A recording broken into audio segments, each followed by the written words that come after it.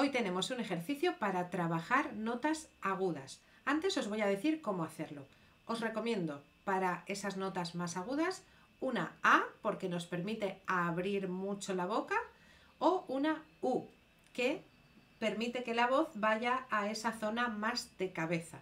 ¿Cómo es el ejercicio? Os lo muestro. Hace esto. Con lo cual, si hacemos con una A, no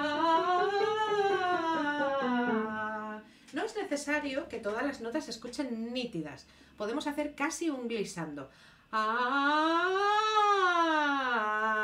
Esto es posible que nos ayude para cuando lleguemos a esas notas más agudas que cuestan bastante.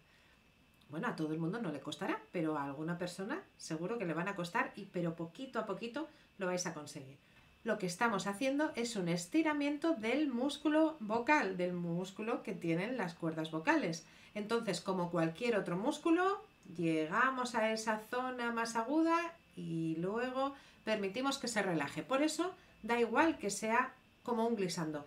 ¡Ah! Vale, así, perfecto.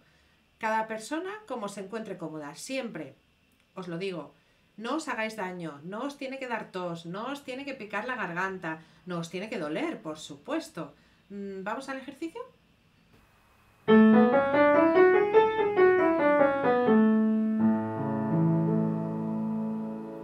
Un, dos.